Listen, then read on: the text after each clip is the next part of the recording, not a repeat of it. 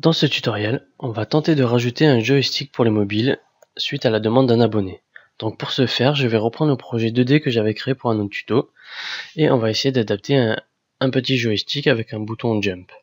Donc, donc si vous n'avez pas ce projet, je vous invite à aller sur ma chaîne YouTube, donc euh, youtube slash user slash made in 83 et suivre le tutoriel 2D que que j'ai fait la semaine dernière, donc Unity développement 2D plus optimisation mobile.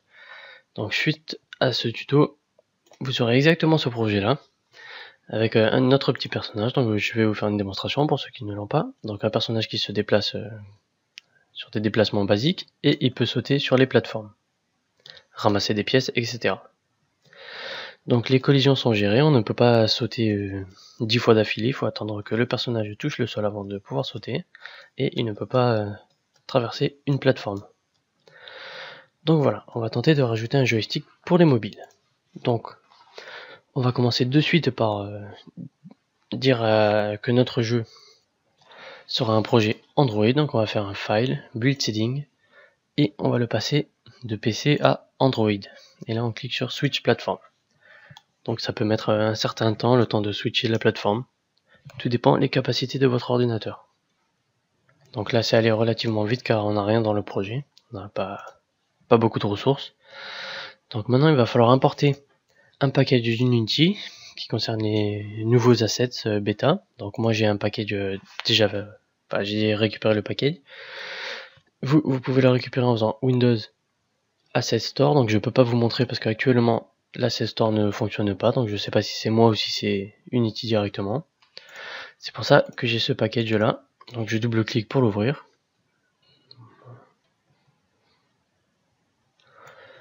Donc, ici, on va tout importer. On clique sur Import.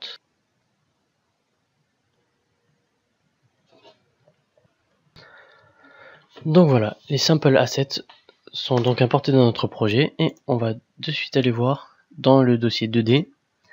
On va aller dans scène et on va ouvrir le projet d'exemple de Unity. Donc, je sauvegarde pas. Donc voilà ici un projet de bah, créé par Unity pour euh, démontrer un peu la, puissance du moteur 2D. Donc je vais vous faire un exemple. Donc euh, pour utiliser les contrôles ici, donc c'est ces contrôles là qu'on va essayer de récupérer pour les mettre dans notre jeu car ils sont très bien faits. Donc euh, pour pouvoir bah, jouer avec ce joystick, j'ai branché ma tablette et je joue sur ma tablette en temps réel. Donc voilà, on a notre personnage. Donc euh, si j'appuie sur Jump, on peut sauter et le joystick permet d'avancer. Donc voilà, c'est ce joystick là et ce bouton là qu'on va récupérer pour notre jeu et qu'on va essayer d'adapter euh, sur notre personnage à nous. Donc, pour commencer, ce qu'on aura besoin, c'est simplement du mobile, Single Stick Control Rig. Donc on va le sélectionner, on va faire un CTRL C pour le copier et on va rouvrir notre scène et on va faire tout simplement un CTRL V. Donc on voit que déjà on a notre joystick et notre bouton jump. Donc on peut déjà essayer. On voit bien que le joystick bouge. Donc euh, si vous n'avez pas de tablette ou de téléphone euh, Android euh, de brancher sur votre ordinateur, vous ne pourrez pas tester. Donc maintenant, on va vouloir que notre personnage se déplace non plus avec les flèches directionnelles, mais avec le joystick. Donc, on va aller sélectionner notre personnage ici. Et on va, hop, je vais réduire ça. On va sélectionner notre script player movement et faire un double clic et on va voir un peu comment ça va se passer. Donc, le script est ici. Voilà, donc, actuellement, le mouvement se fait grâce à la touche D et la touche Q. C'est même pas les flèches directionnelles. J'ai gardé le, le Q et le D. Donc, ici, on peut commenter tout ça. ici, on va faire le movement. Donc, on va renseigner une nouvelle euh, variable de type vecteur, euh, plutôt float. On va l'appeler smooth. Ça sera égal à cross platform input.get axis. Ici, on veut l'axe horizontal. Donc, cross-platform input, ça va directement chercher euh, notre joystick que l'on vient d'importer. Et on va faire un get axis pour euh, bah, get axis horizontal pour les déplacements droite et gauche. Donc une fois qu'on a ça, on va déterminer si notre smooth est supérieur ou égal à 0. Donc si c'est le cas, on oriente le personnage sur l'angle 0, 0, c'est-à-dire qu'il va regarder vers la droite. Donc si smooth est supérieur à 0, le personnage va se déplacer vers la droite.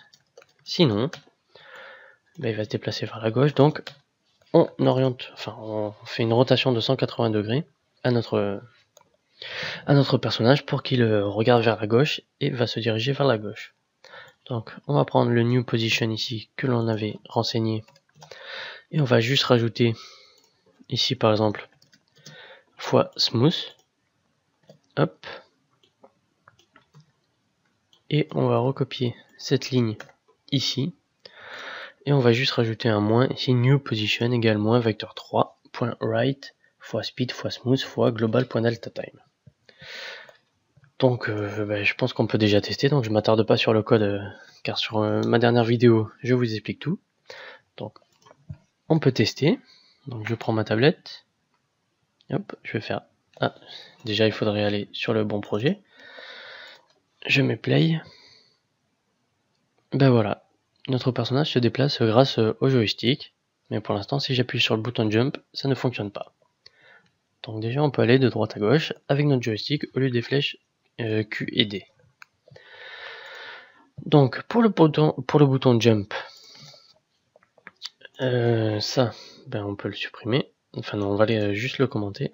Hop, ça on va le supprimer maintenant c'est fait. Donc pour le bouton jump, il va falloir déclarer une fonction euh, update parce que dans fixed update on peut pas récupérer le cross platform euh, bouton jump. Donc on va faire void update et ici on va faire un if Bon, tout d'abord, on va reprendre l'intérieur de ce if là, car ça sera exactement la même chose. Donc, si notre personnage touche le sol, on lui ajoute une force euh, qui va en direction vers le haut avec notre jump force et notre coefficient multiplicateur. Donc, ici, on va faire is cross platform input.get bouton down et ici, on va lui donner le nom de notre bouton. Donc, pour récupérer le nom de notre bouton, on va aller dans mobile single stick on l'ouvre et on va cliquer sur notre jump bouton et on voit que le bouton name c'est jump. Donc ça me paraît logique parce que par défaut c'est toujours jump. Donc on renseigne jump ici. Donc normalement tout devrait être bon. Donc si on appuie sur le bouton qui est à l'écran qui est renseigné en tant que jump, on va ajouter une force. Donc on va tester. Donc le déplacement est fonctionnel et le bouton jump et eh ben, on voit qu'il marche aussi. Donc euh, bon, vous pouvez pas le voir sur la vidéo, mais moi quand j'appuie sur ma tablette, euh, le personnage euh, saute. Donc voilà. On peut se déplacer maintenant. votre jeu est un peu plus optimisé pour mobile. La maniabilité est un peu accrue maintenant. Donc vous avez un joystick, vous avez un bouton jump. Voilà, donc c'est parfait pour les mobiles. Donc si vous souhaitez changer le skin des boutons par exemple, il faut aller dans par exemple jump bouton, voilà, ici, vous changez votre texture. Et pour le joystick, c'est pareil, vous cliquez sur mobile joystick, et ici, vous avez la GUI texture. Donc, qui correspond joystick, donc euh, si vous voulez l'ouvrir, c'est bien ça qu'on a. Donc, je vais juste euh, vous faire un exemple de changer le joystick. Donc, euh, pour ça, j'ai ouvert Photoshop. Je vais faire une nouvelle image 256 par 256. Hop. Je vais faire un simple rond je vais le mettre par exemple en bleu. Et un fond également bleu. Voilà. Donc ici, je pixelise, j'enlève le fond, je le sauvegarde. Dans le bureau, je vais marquer joystick. Je le mets en PNG. Hop. Je sauvegarde pas. Et ici, je vais l'importer donc je l'ai importé dans texture. Ici on peut augmenter un peu la qualité. Donc si vous voulez, bon ici je l'ai mis à 256, on va mettre en true color. On fait apply. Dans le mobile joystick, on va juste glisser notre texture.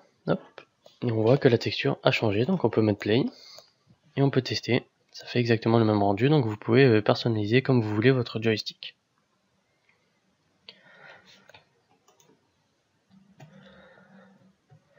Donc merci d'avoir suivi ce tuto et j'espère que celui-ci vous permettra de faire des jeux 2D sur mobile un peu plus facilement maintenant que vous savez comment gérer le joystick et des boutons. Donc euh, n'oubliez pas de vous euh, abonner à ma chaîne YouTube pour ne pas louper mes prochains tutos. Et puis vous pouvez aussi, euh, bah, comme l'a fait un abonné pour ce tutoriel, donc me proposer vos sujets de tutoriel et s'ils me paraissent cohérents, ben, je ferai des tutos pour toujours vous aider dans la création de vos jeux sur Unity 3D. Donc à bientôt